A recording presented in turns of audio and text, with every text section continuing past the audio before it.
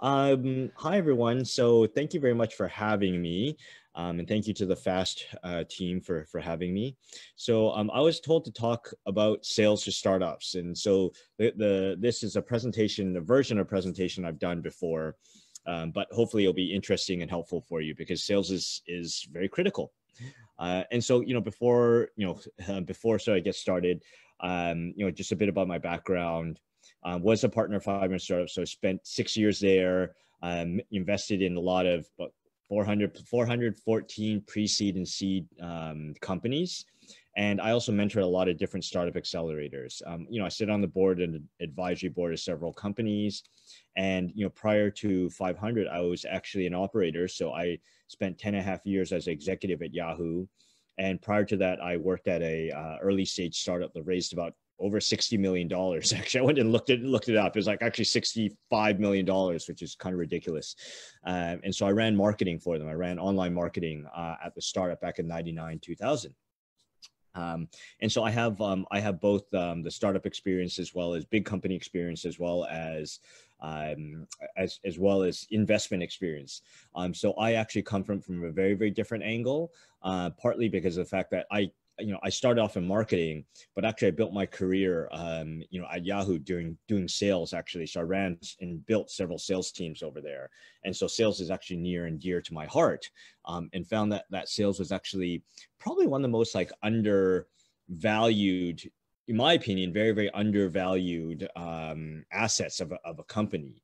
Um, and so, you know, this is this is unfortunately sort of like the popular view of sales, right? If you haven't seen this movie called Glengarry, Gary Glen Ross, great movie, but it's a very Hollywood exaggerated view um, and very negative view of sales, right? It's just like these people who are like just like trying to stuff stuff down people's throats of just like stuff that people do not want, right? And that that's actually not really what sales was. That was actually my view. Sales in the U.S.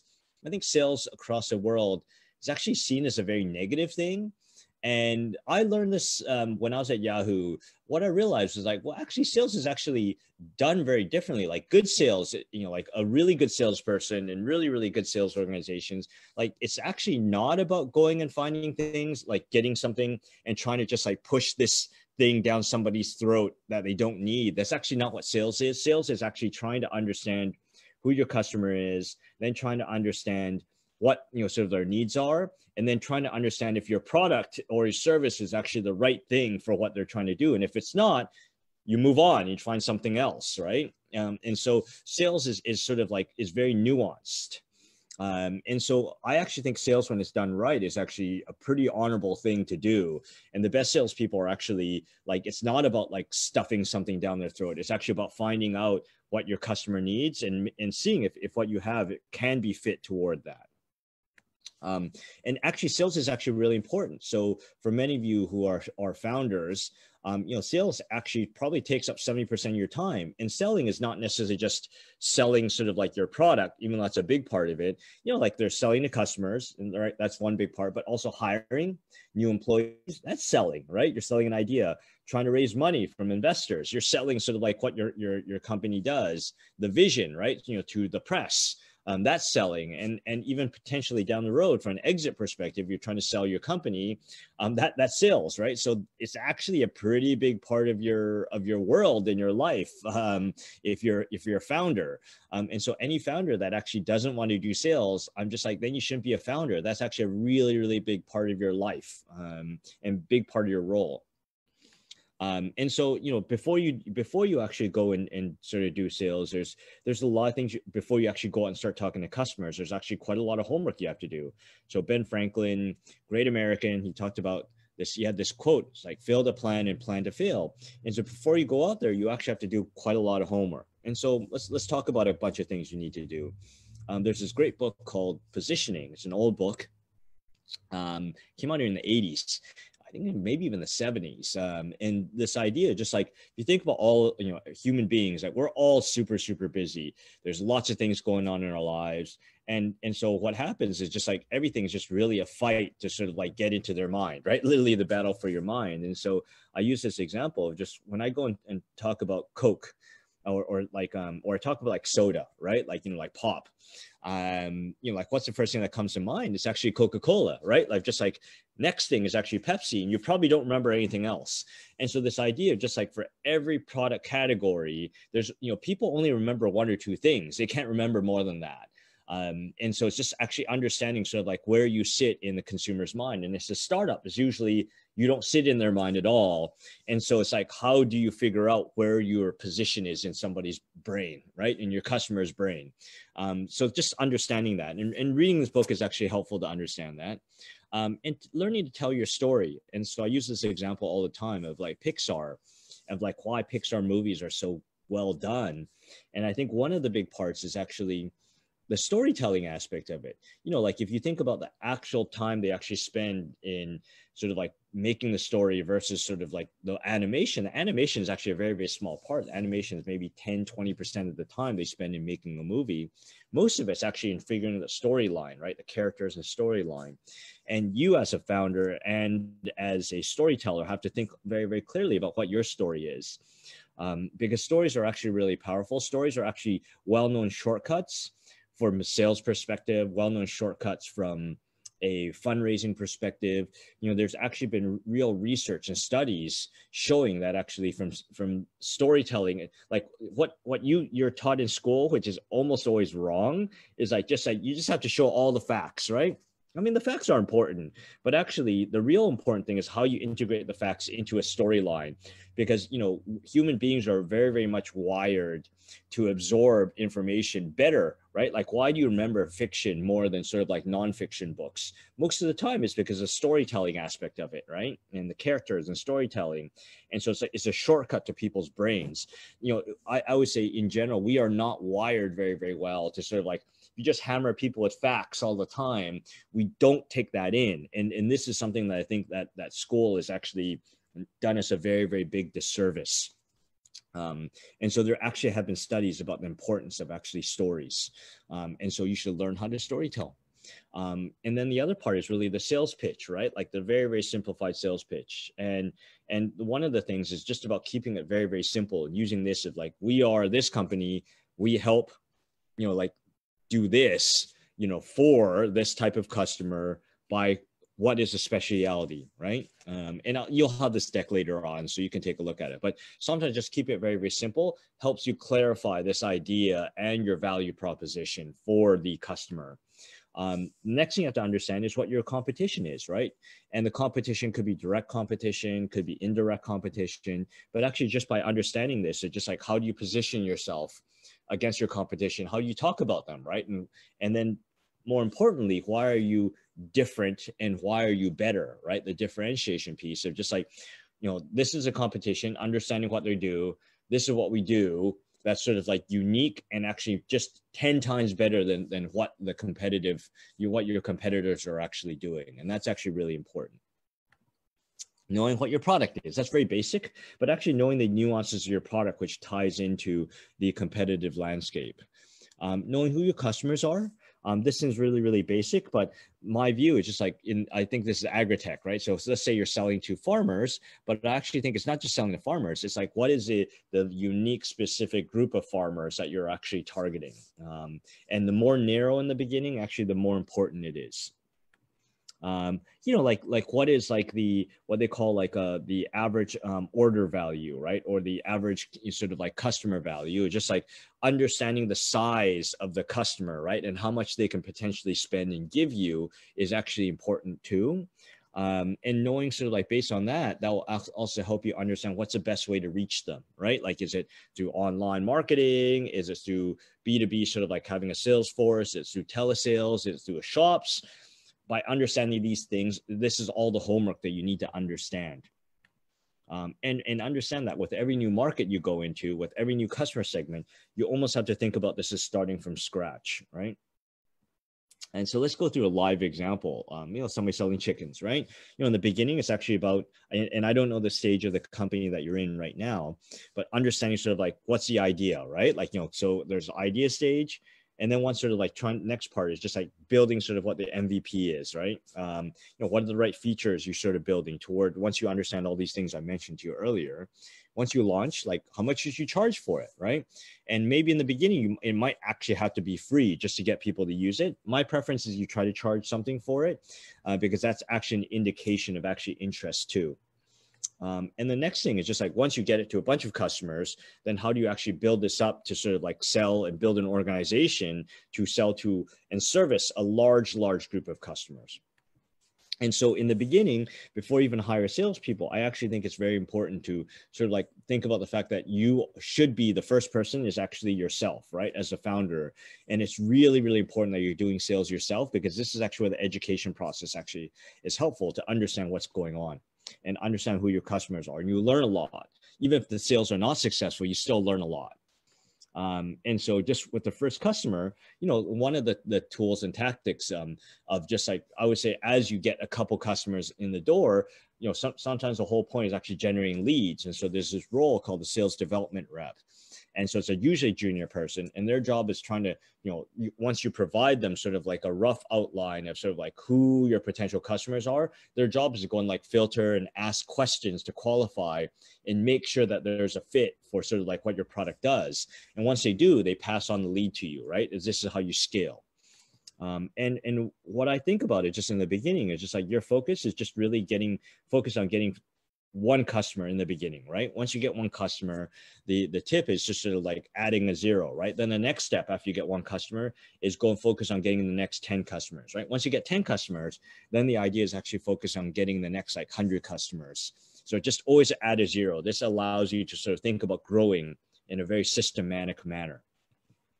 And, and the rule of 10 of just like you know sort of like the business starts to come interesting is when you have at least 10 customers, right? That you've sold yourself and that are like unaffiliated, right? Like these are people that don't know each other, that you've just been able to sort of like grow them.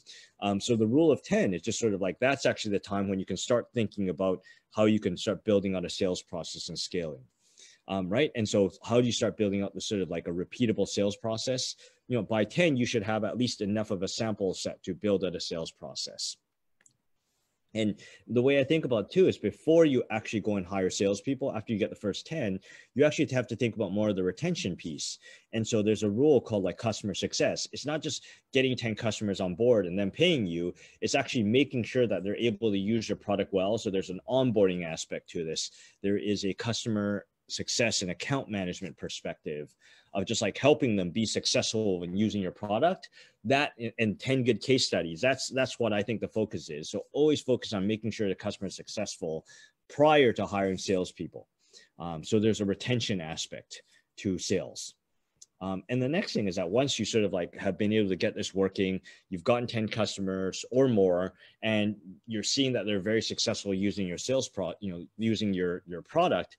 You know, when you hire salespeople, um, the way I think about it is that you want to hire two salespeople, right? And not just one salesperson. You want to hire two salespeople. And the reason of the rule of two is by having two people, you can, it's almost like a live A B test to understand, you know, sort of like where the problems are, right? So it's very, very helpful a lot of times. If you hire two salespeople and they're both not successful, it allows you to ask the question of just like, okay, were they not successful because you know maybe there's something wrong with the product maybe there's a sales process issue or did i hire the wrong people um, and or sometimes what ends up happening, you have one person that's very successful, one person that's not successful. It actually helps you understand sort of like, hey, like you know, why what are the reasons that one person is successful and not successful? It helps you figure out whether you, you know where your problems are.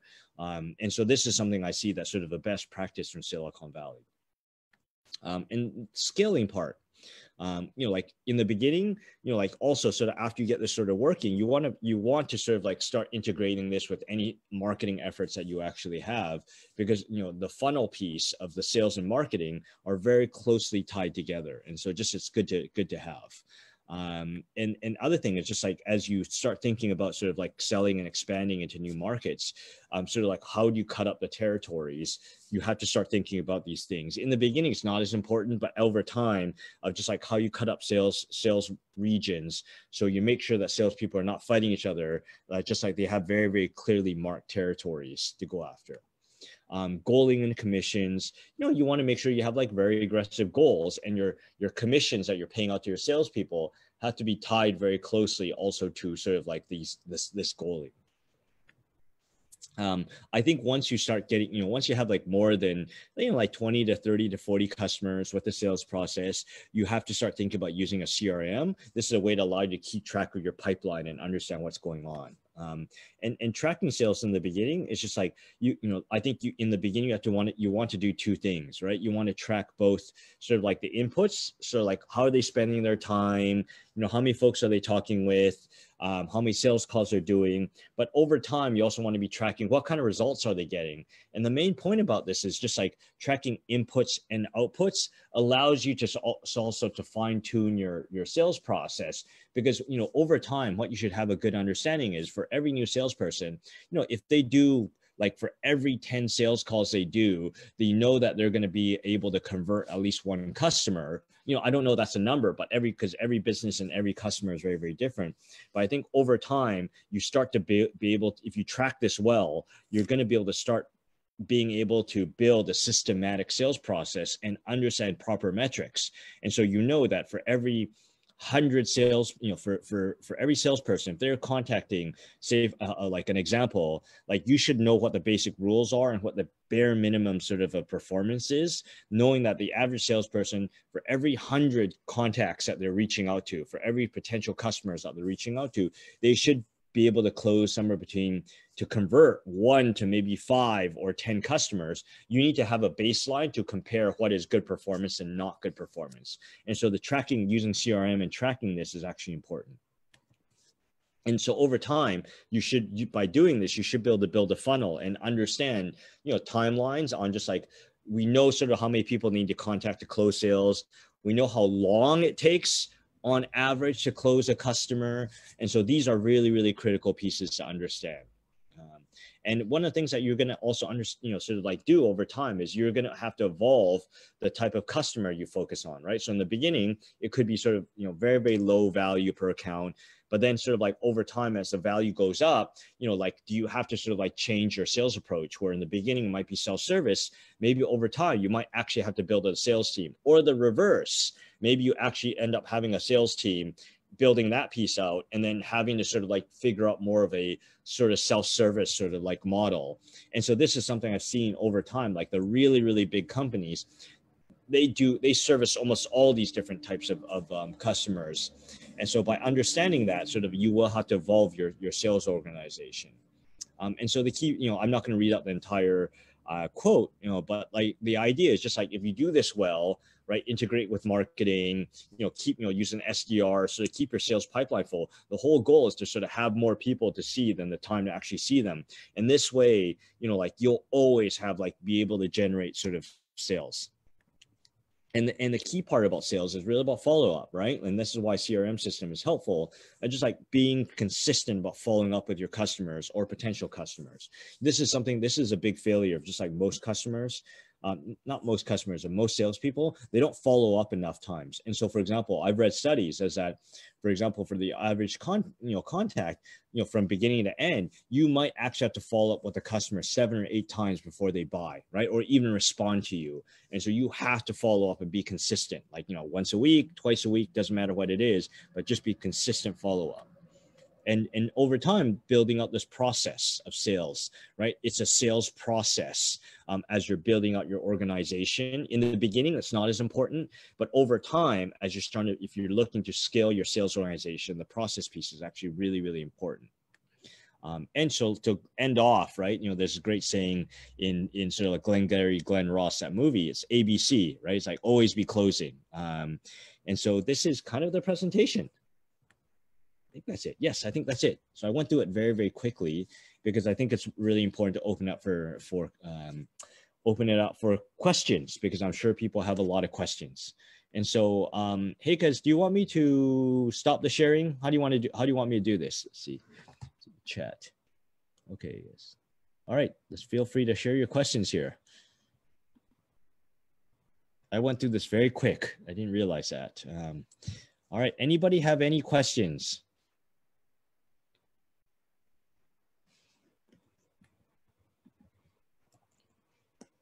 No questions.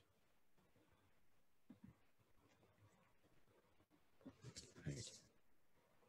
Hey. Hey, Kaz. Oh, sorry, Marvin. Sorry, sorry, sorry, sorry. I was I was on mute. Uh, Marvin, uh, yeah, we have question on Facebook. Okay. So let me let me raise it. Okay, let's see. The question is. Yeah. Okay, here it is. Uh, can you recommend how to contact B2B customers? Sometimes they are difficult to reach. Um, can you give me a little bit more where just like what's the segment? Is it like large enterprise? Is it like a specific industry sector? Just the nuances is helpful. Mm. Uh, yeah, actually, uh, the, this is uh, one from contacted from uh, looking uh, watching our Facebook live and she's not specifying any details. So uh, Abilava Yekaterina, if, if you are uh, if you are watching us now, please uh, write in the comments some more details about the uh, about the startup and about the segment. Yeah, um, because it's it's a very nuanced question, right? Like I, I think that there's lots of ways. Yes, it's very challenging, and truth or matter, sometimes even spamming them. And so like going and like trying to find like a, an email, like LinkedIn is one way, trying to find an email via sort of like just on the website and just like contacting them, even just calling, trying to find the right person at the company. Yeah, it's hard. Um, B2B sales is hard. Or you can some in the US at least you can go and buy um, you can buy databases as well too. But I, my take is just like a lot of times you have to just build your own. Um, and a lot of times it's using things like tools like LinkedIn or other tools to go and try to find the right contact and contact them and asking them, emailing them, just like, hey, you know, like we're trying to, we understand that you have this problem, or like, hey, we understand that you guys are doing this, and you know, we have this awesome product that helps you fix this. Trying to talk to the right person. Are you the right person? If you're not the right person, maybe you can refer us to somebody. You know, so like just like you have to go and like find your way through the organization. Uh, thanks, thanks, thanks for the for answering, uh, Marvin. I will, I will, uh, I will watch the, the, the chat to see whether uh, uh, Ekaterina will follow up. Here is another question in, in our chat. Uh, so the question is for CRM: Do we need uh, to invest in system software or any tools methodology that we can adopt? Yeah, I, I, think it's actually very sort of like there's there's so many great CRM systems, right? I think for most startups, it's usually not Salesforce. Um, you know, like there's like lots of there's lots of different sort of like relatively easy to use CRM systems. Like there's like Zoho, there's Pipedrive, um, you know, like there's like Sugar CRM, um, there's Affinity, there's Close.io. So there's lots of, of sort of like different sort of like CRM systems, HubSpot. And so I think a lot of it's just like going and seeing which one you think is better for your business, right? And that you you think is easier to use because um, all of them have pluses and minuses. Um, and so that that's my take. It's just like you kind of just got to check them out, right? Like you got to you got to view, you know, you got to evaluate them yourself for your business. Thank you, Marvin. Another question from Samuel. Uh, does buying database work? Because I heard that many times the email lists are useless because they end up in spam folder or not attended to. Yeah, yeah. I, I, I, would say I would say it really depends on the industry. So, for example, um, like there are some like databases, like for example, for like plumbers or whatever, right? Like taken straight from like associations. And so like it really depends on the niche. Um, you know, like so I would say some are very good. Like in general, I think your view is right. Like most databases are usually not very good, and it's better to go kind of build your own. But I would say some industries, um, actually, for example, very, very niche industries and and some sort of like newsletter sites or whatever actually have like good databases. So a lot of stuff you have to test yourself, and and it just it depends. And so I've seen them, I've, I've seen lots of situations where they haven't worked very well. I've also seen a lot of situations where it actually worked pretty good because of the very narrow sort of like focus and they were able to find um, a good source for it. Okay, thank you. Thank you, Marvin. Uh, so another question from Karina Aramian uh, in our Facebook uh, live. Uh, she's saying, I have a tech startup and now want to raise seed funding. Is there minimum amount of customers I need to have? Ad tech or ed tech? Ed education tech. Um, it depends. Well, truth of the matter it depends on. It always depends, right? I think it depends on, like you know, sort of like who you're raising from. Are you raising from angels or VCs? Are you trying to raise like a couple hundred thousand? Or trying to raise a couple million? Um, a little bit of um, nuance would be helpful. Okay, Karina, yeah, if you're hearing uh, us and you have some nuances about your edtech startup, particularly the, the, uh, some, some more information about the, uh, the solution, uh, maybe type of the customer you are looking for, that would be uh, like helpful. Please, please type in the comment section. Uh, so here is another question in our Zoom chat from Shisher. hi, thanks for insightful session. Regarding sales, I assume having a company email uh, is professional. But for yeah. startups working to get seed funds, is it a good idea to invest in company emails? How important yeah. is it for sales yeah. or acquiring investors? Yeah, the, the, the answer is yes, right? Uh, I, I mean, I just think it's very hard to take you seriously. You have a Gmail account, right? Like you're like, I'm running this business and I have this Gmail account. You're like, it's it's not that much money to get like a I don't think, and I've gotten one myself, right? Like it's actually not very much money. It's like 200 bucks a year or something like that, right? To get your own like company sort of like, like company sort of like email. So yes, I do think it's very, very important. I, otherwise I think like, I think it's particularly B2B, I think it's hard to take you seriously. Thank you. Uh, another question from Liana there, Avetisa from, from our Avitech cohort. Uh, for sales, we are going to use call centers campaigns. So is there any rules that you can share? I mean, for example, to not disturb the same customer two times during the month, etc. Um, I I think it depends on the customer, right? It depends on what the sales cycle is. Like I I'm of the general view, or just like I think you have to test some of these things to see sort of what makes sense. And so like I I think that in the beginning, like if you're not doing at least like a follow up like every week, right? Like you know like four or five sort of like contacts in a month I, I don't think like people just are so busy right? And so i i don't think there's any rules. I think you have to test it out where it's like all right like i'm not going to disturb the customer more than twice. And other and one that's one group. And another group you do almost do like a live a b test. And other one you you literally call them like twice a week or something. Um like i think you have to test to see what works thank you uh, Marvin, another question from our Facebook Live uh, Ira Abajan is asking, what are the top three books to read about sales? Oh, there's so many of them. Um, boy, let's see. Um, the Challenger sale is really good. Um, yeah, it's called the Challenger sale. Um, like the sales, the ultimate sales machine is another one that's actually really good. Um, and I also, I'm, i mean, there's just so many really, really good books on sales. Challenger sales, uh, the ultimate sales um, machine, and um, I'm also a big fan of um, Jason Lemkin's um, From Impossible to in, Inevitable.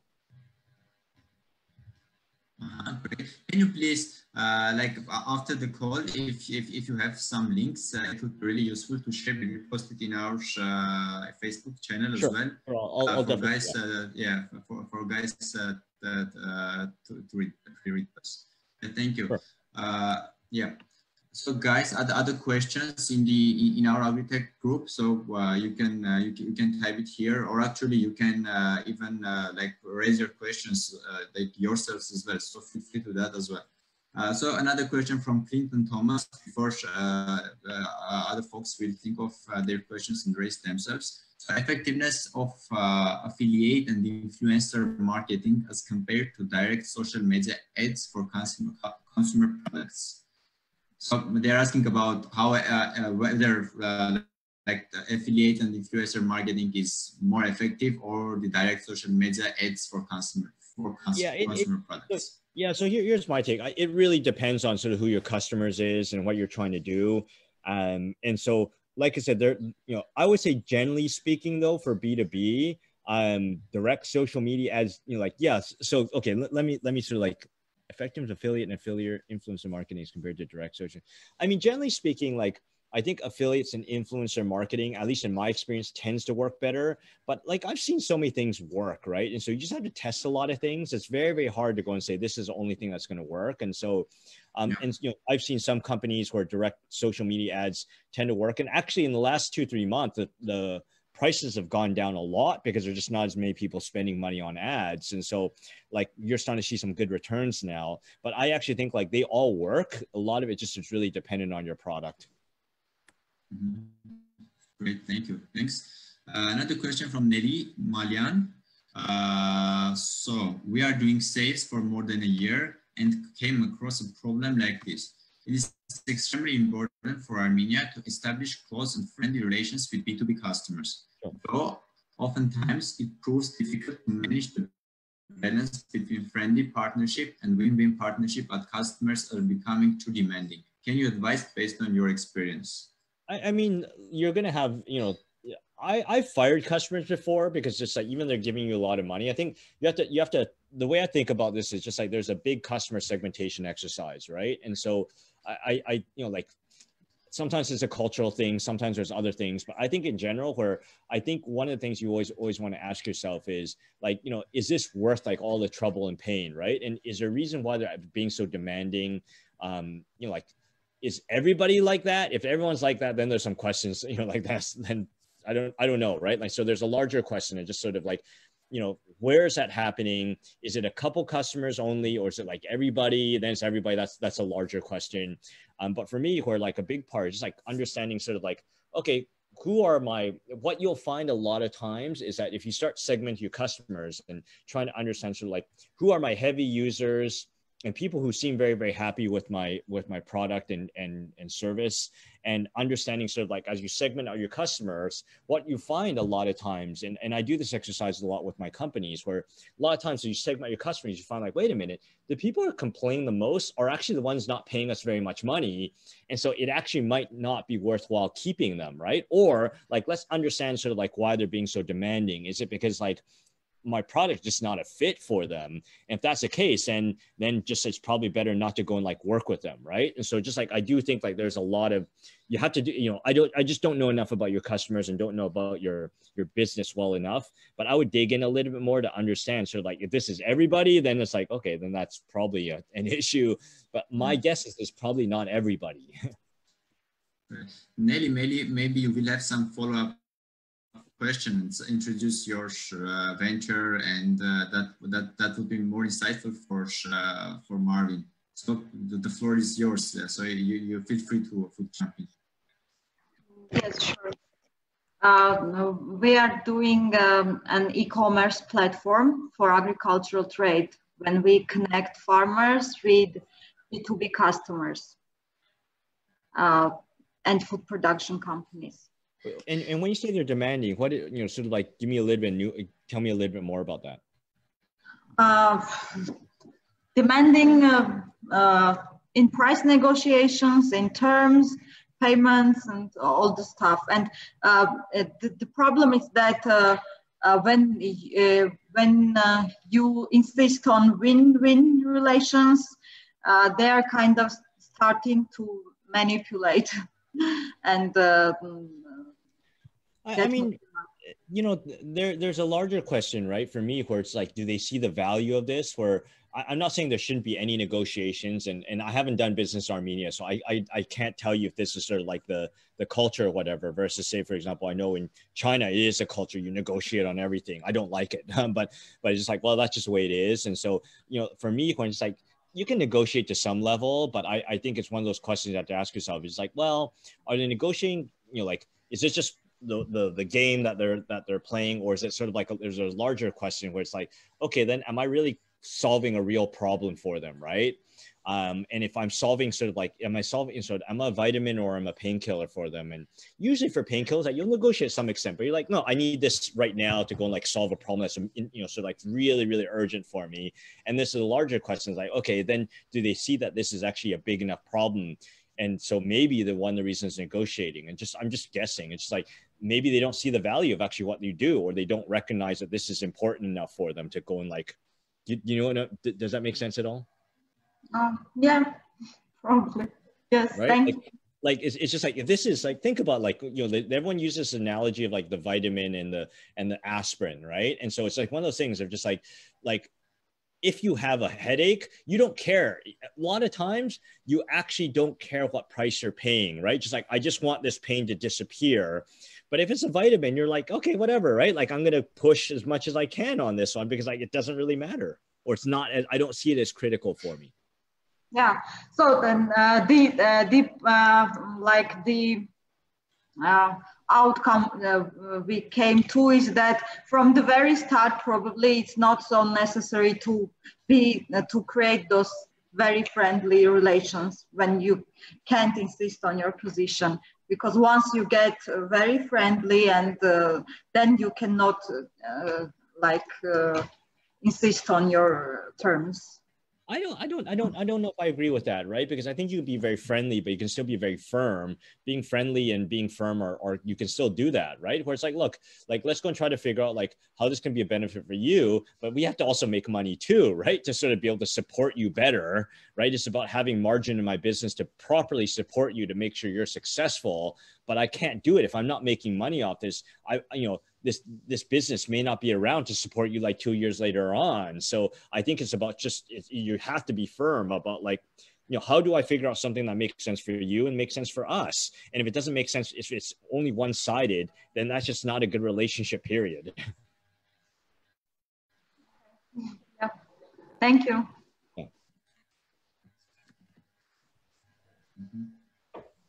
uh, are there questions for now from, from our cohort, Agritech participants, event participants?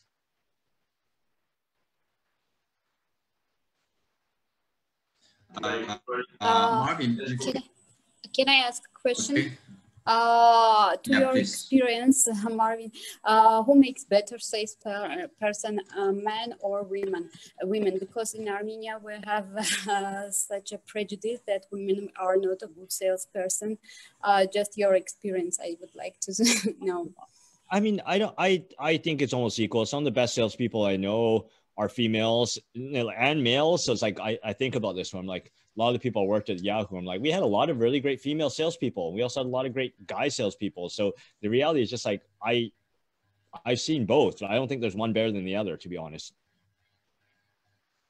That's a very okay, that's you. very that's a very politically correct answer, but like actually I I don't see any difference. Like I've seen I know amazing amazing sort of like female salespeople, just like I know amazing amazing um you know like guy salespeople. So you know I, am not sure I, I see I, I'm not sure there's a difference uh, not to be politically correct, but maybe uh, male uh, they are better. Uh, they, maybe something in psychology. I just just wanted to understand it's something uh, pure Armenian, or you just wanted to know your experience. That's all.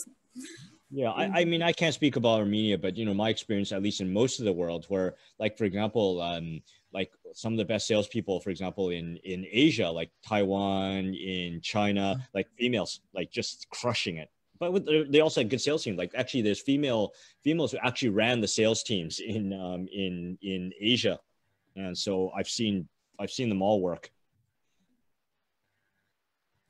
Okay, thank you. Can I ask a question? Thank you, Colin. Uh, sure. Hi, Marvin. Hey. Nice to meet you. Uh, I am representing Lubex. Let me tell you shortly what is it. Uh, it's an application which finds any item in the video or image and enables you to buy it instantly. Okay.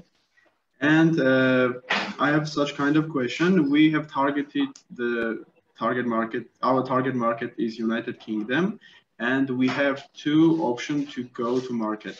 The first is uh, to negotiate about 20 uh, B2B partners. So our customers are B2B, uh, are e-commerces who are uh, selling their items. Uh, the, the first version is to go and negotiate with them to collect the initial uh, part of partners and uh, start the product. And the second one is to scrape their websites to Uh, collect the statement and then go to negotiate with them. So what do you think? Which one is better? Honestly, I, I don't know if there's sort of like one approach better than the other. I, I actually think what you do is you A B test it, right? You know, half of them you go and like you know, like here's the thing, you just never know what's going to work or not, right? And so what you do is maybe you split it up in half, and half of them you scrape it, and then you approach them, and the other ones you actually just go out and and talk to them, right? And see which one actually converts better. Um, you just never know. Mm-hmm. So, are you familiar with United Kingdom's uh, culture or not? Uh, somewhat. I mean, I, I, I studied there for a short period of time, but I can't say I know it super well. The the retail culture is very advanced, right? If you think about sort of like the digital spending and and sort of like just even even from a retail perspective, even offline, just like the UK market is very sophisticated. Mm. Uh, Marvin, in terms of like this product, for example, uh, so actually they have like both B2B parts and B2C parts. Uh, which part do you think is better to like concentrate the efforts first? So B2C oh, okay, okay. I, I, think. I okay, I understand. I, um, honestly, um, B2B is a great way, uh, you know, like now I understand your question, right? So first part is B2B, second part is B2C. Is that, is that, was that the question? I thought, I thought you were talking yeah. about sort of working with the same partners and doing one without scraping versus the other. I'm like, okay, now I understand why you give me that weird look. I'm like, okay, now, okay, I understand the question. So B2B versus B2C. Um, I don't, I don't think there's one approach better than the others. I think on the B2B side, you're, you know, like it's one slower approach to sort of like understand sort of like the, the consumer behavior um, I, I find the consumer behavior, learning about consumer behavior, just like way tougher. B2B, at least for me, tends to be a little bit of an easier approach versus a slightly easier, not dramatically easier, right? Um, that's one way to sort of like slow learn um, as you sort of like adopt, right? But um, business to consumer, um, yeah, it's just hard. I think any consumer related stuff is very, very hard. I always find B2B sort of like generally speaking, when you're doing B2B deals in most countries, like the nuances, there are nuances in them, but they're not as stark with going direct to consumer. Does that answer your question? Uh, but what do you think? How uh, British uh, e-commerce sites are related to uh, startups?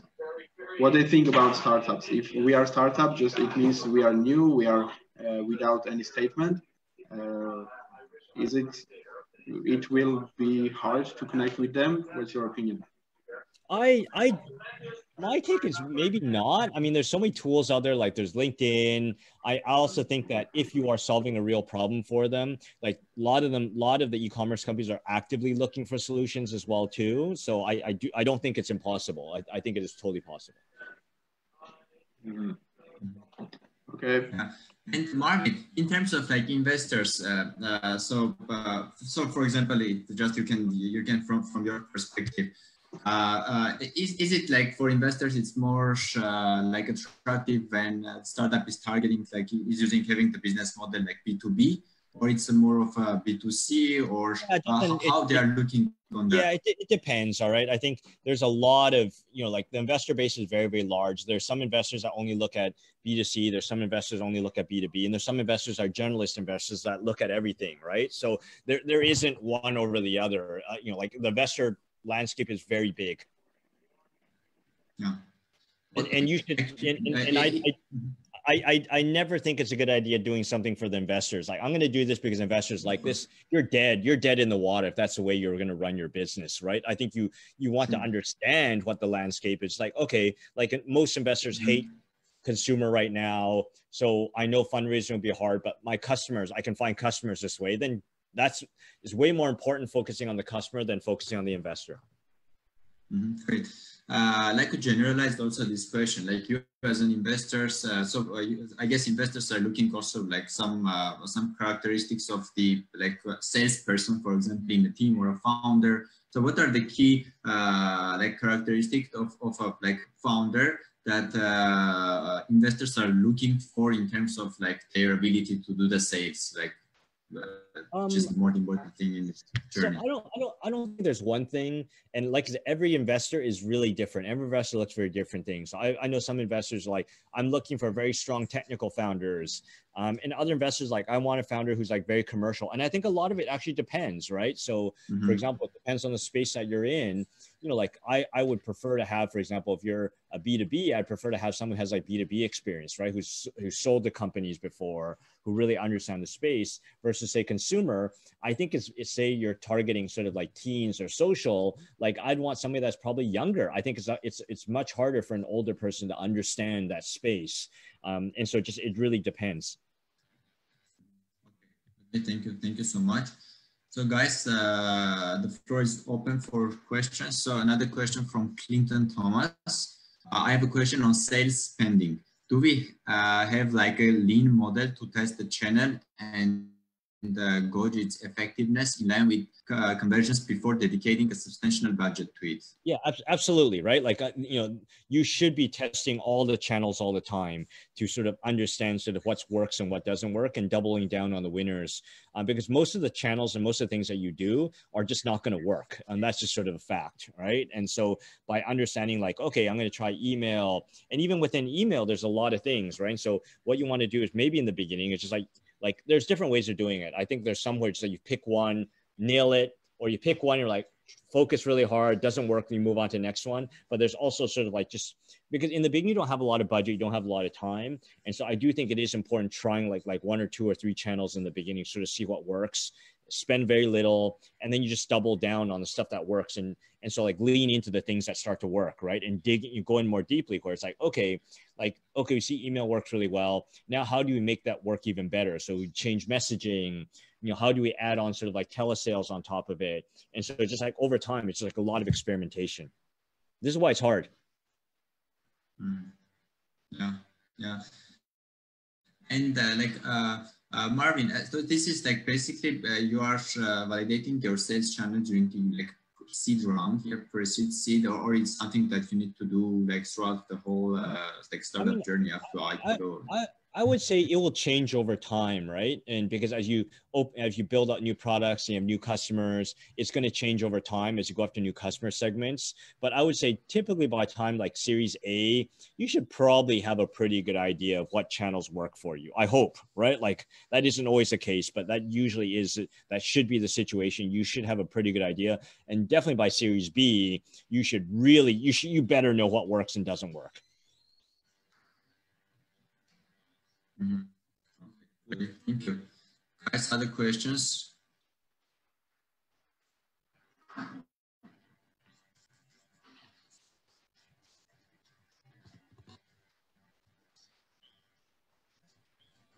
Yeah, don't be shy. Use the opportunity to introduce your project as well.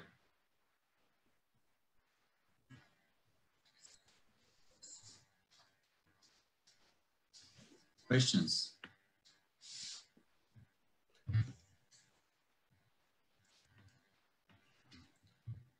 Okay, because if there's no questions, that's okay. Yeah. is this common? yeah. It, it, uh, yeah. Is this common to the online sessions that you, I'm, I'm sure you are you are holding a lot of like uh, this kind of sessions like Start the World. Um, uh, so what's the general practice in other countries?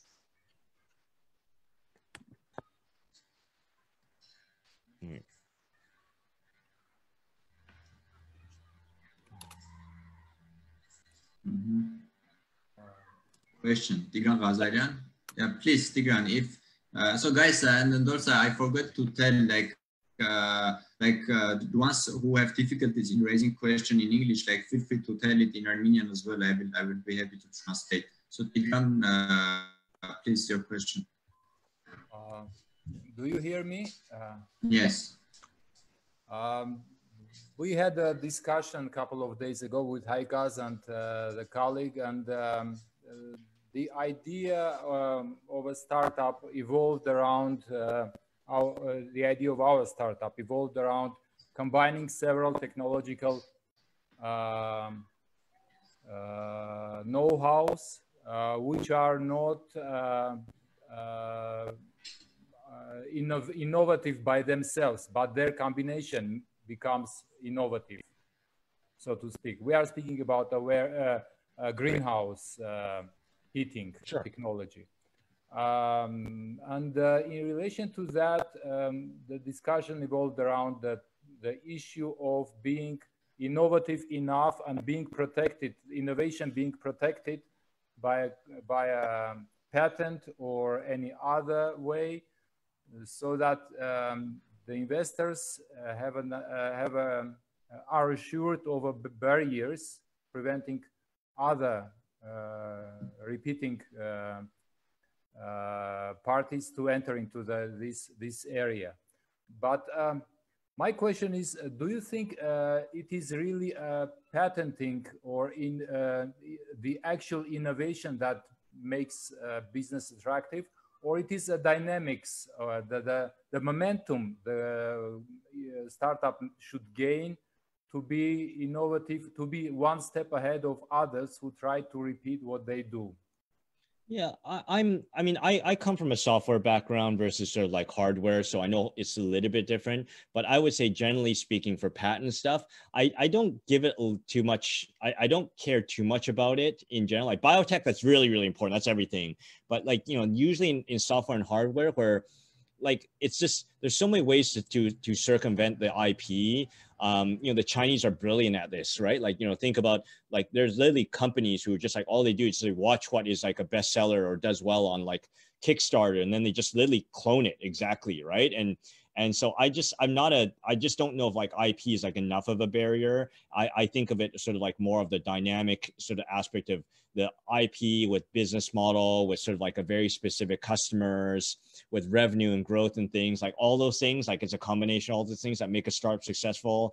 Um, and I think any investor who cares, like like I said, and I'm not talking about biotech, but any investor who is like, oh, you have an IP, you have like IP protection. I'm like, well, like I, I just I was trained not to care about that because it's like I see lots of academics who like I have this IP and like I don't care. Like there's no business model. Like you're not a biotech company. You're software or hardware where it's like all this stuff can be you know can be cloned by like sort of like working around the IP. So it's actually way more important for you to going out there and solving a very specific problem for a customer, right? Or having some unique business model. Exactly. Okay, so um, sorry to call. Dynamics, uh, dy dynamic and momentum you gain uh, along the way. Well, well, well, the dynamic and momentum you're gaining, it means that you're doing something right, right? So like, like that is an evolution of the team, the business model of like of, of sort of some unique go-to-market approach that you know like it's less about like i think anyone investing in traction is in is in early stage like i'm like yeah so like great like traction is easy to do that. It's actually hard to go and understand what that like traction is a result of you doing the right things. Thanks. Uh yeah uh marvin fight uh, yeah, yeah, yeah, Fight, we can hear you. So there is another question from in the chat as well. So uh, I will let Fight, you can raise your question and then I will I will read the question from the chat. Please, can you expatiate further on what, as a from an investor point of view, what do you uh, what do you uh, what do you look out when you want to invest in a startup? So I, I, I you kind of disappears. Like as an investor, from an investor point of view, what do you? And then I lost you. Okay. What do you look at? What do you look at to invest oh, okay. in this startup? Oh, okay, sure, sure. Okay. Um, the metrics, yeah. the metrics, the metrics you look at. Yeah, um, I mean, here's the thing. A lot of startups I invest in don't really have any metrics. So I'm looking at sort of like I'm evaluating the team, I'm evaluating the market, I'm evaluating sort of the proposed business model, um, the customer segment, um, I'm evaluating them how they're they're positioned and their go-to-market approach versus sort of the competitive landscape. So I'm looking at a lot of different things uh, from a traction perspective. But just like I, I kind of depend on who their customer segment is and what the market is. I want to understand, um, you know, like what the the potential sort of ACV is. I actually want to understand sort of like, um, you know, do they have any customers? Do they have a pipeline of customers? Um, like it's just I'm looking at a lot of different things. So I, I don't think there's just one thing I'm looking at. Uh, so that so the next question actually is, related is related to metrics. So what is the ideal LTV to CAC ratio for a con consumer product from an investor uh, point of view? So I, I've seen I, I've seen it range, like I said, depends on the product and situation, but I've seen it like you know the highest i've seen is usually like and i mean in a bad way right like most most of the time is negative but like you know i've seen like investors are probably accepting of sort of like you know um you know like three dollars for you know spending a dollar for every sort of like um you know like three dollars of, of cac for sort of three dollars of ltv that's on the borderline. Um for me somewhere between one you know one versus four one versus five is probably about right.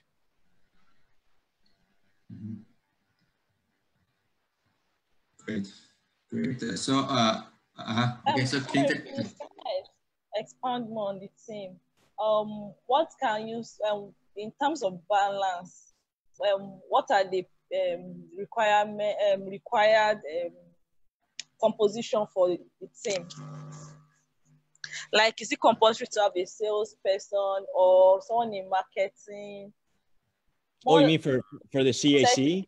Yeah, uh, yeah, I, uh, um, yeah, I, I, guess, I guess she means in in general, what is the ideal composition of the team in, in terms of yeah, having salesperson, I don't know, tech person or stuff like that for an oh. early stage startup? What's the oh, ideal oh. team composition? I mean, my my take is ideal composition. Although I've seen everything, all different things work you know, I, my preference, for example, is I like to see sort of, sort of at minimum someone that's really strong on the tech side, and then and then and sort of paired up with some of the strong on the business side, and preferably, you know, like if there's a third person, usually it's that strong on the design side, or at least have the design capabilities. It's very rare for someone who's like strong on tech and design, um, it, although it is possible. But like you know, usually sort of like these three capabilities, I think are sort of like core. Okay. Marvin, and uh, speaking about this, uh, I have actually question. So uh, for, for an early stage startup, which is just an idea stage and they need to validate the idea and with some MVP. Uh, so do you think it is okay if there is no, for example, technology person in the founding team, they are business people, they haven't like a tech idea, for example, in AI, uh, they uh, have, for example, some money and want, wants to like try to hire, recruit some uh, people in tech or do some outsourcing. Do you think that uh, like building the software, like for the for the very early stage for building an MVP, like uh, using outsourcing is, is, is, is, a good thing to do, or they, they just need to pay attention to the hiring the team member. So what, what's what's the balance on that? What, what do you um, think? I don't think there's a right or wrong answer. Uh, in Silicon Valley, there's a massive bias against outsourcing this early, which I actually kind of understand. But my take is that if you're not planning, so if, if, you're if you're not planning, Silicon Valley, yeah. If you're not planning on fundraising, then who cares? Outsource it. Like that's nothing wrong with that, right? But it does make me question when, like, I'm like, well, this is so good. Then why can't you recruit like a good technical person um, as an investor, like fairly or unfairly? But there's a bias against outsourcing this early in Silicon Valley. Doesn't mean it's right, but there's a bias against it.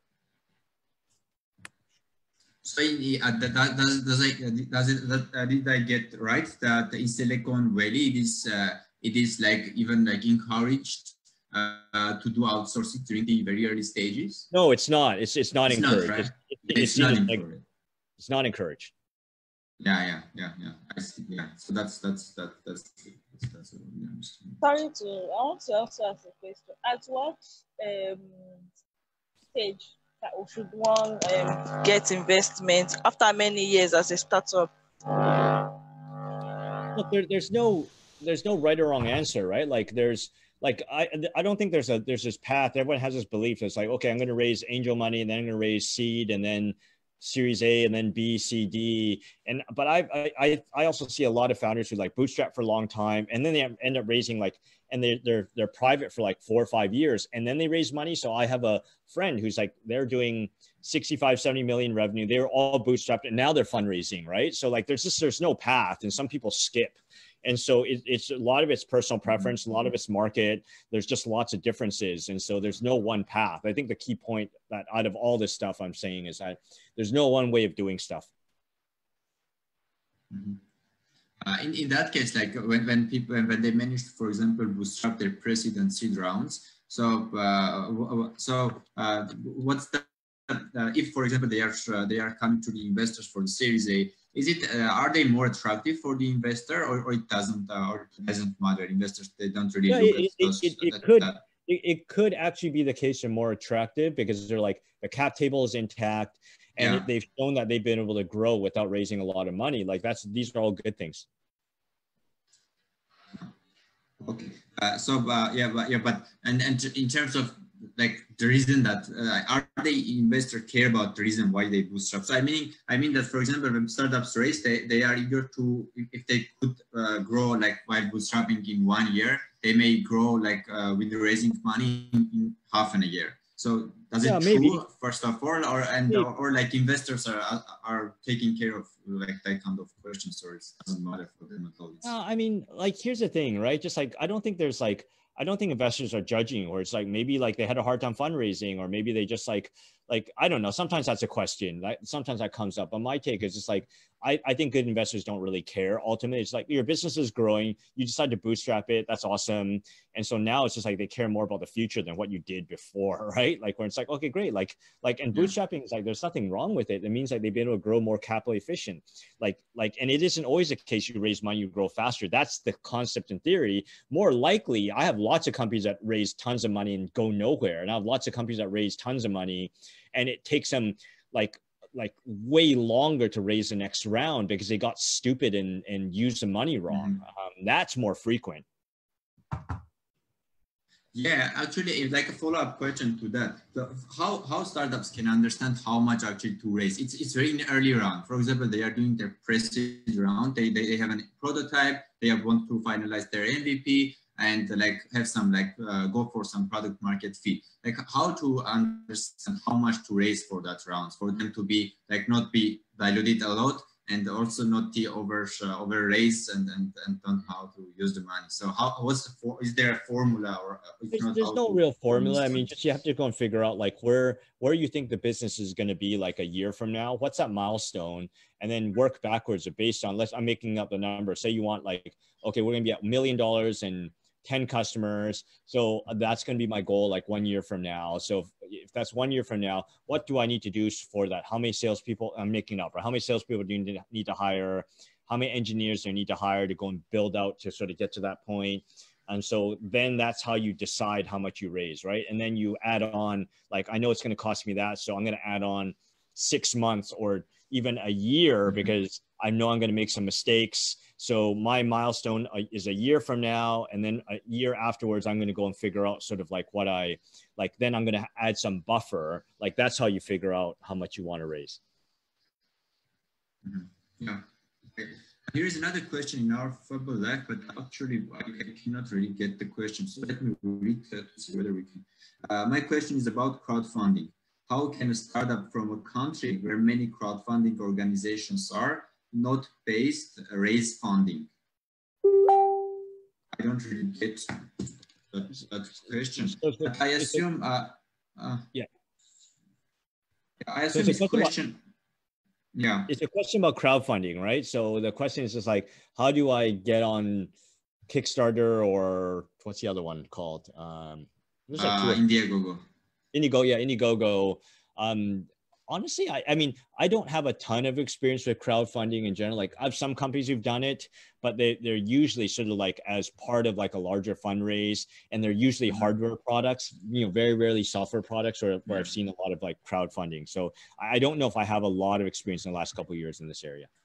And uh, Marvin, how the like uh, follow-on investors looking at uh, startups who did like equity crowdfunding and there are a bunch of people in the cap table. So is it is it is it the, is it the bad sign or uh, uh, well, again it doesn't care? Well, the thing with the, the thing with crowdfunding is that it's usually consolidated under one, you know, like they're usually consolidated under sort of like one line on the cap table. So that's not that big of a deal. And I think if you're a consumer focused uh, company doing crowdfunding is okay because a lot of times they're, they're your customers. So I think it just really depends but I, I, think like crowdfunding as long like i think it's okay but a lot of it is also really dependent on your space. A lot like usually hardware it's okay like that's expected because uh, that's sort of how you get your first couple customers. Yeah. Yeah. Yeah but so so investors are, are they don't have any like specific uh like view you know, whether the startup did crowdfunding or or, or, or didn't and it's, it's every every every investor has a different view but my take is i don't know if it's that big of a deal. Okay, great, great, great, great. Thank you very much. Guys, any other questions?